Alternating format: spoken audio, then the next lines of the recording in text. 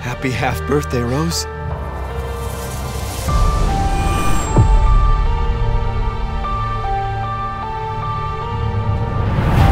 I just want to find my daughter.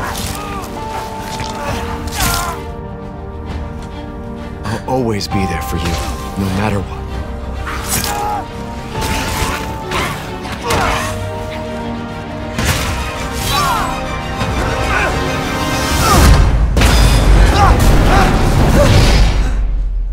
You are my precious Rose.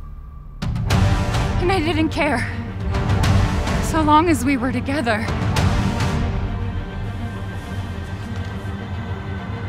Oh man, I'm so sorry. I love you.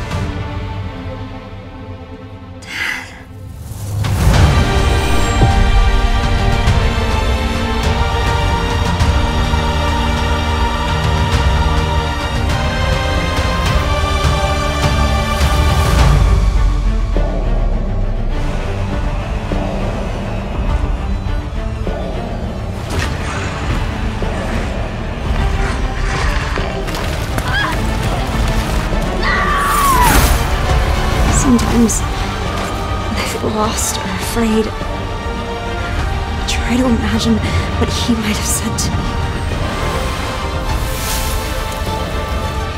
No matter, your imminent demise is inevitable. I love you, but I won't let anything happen to Rose.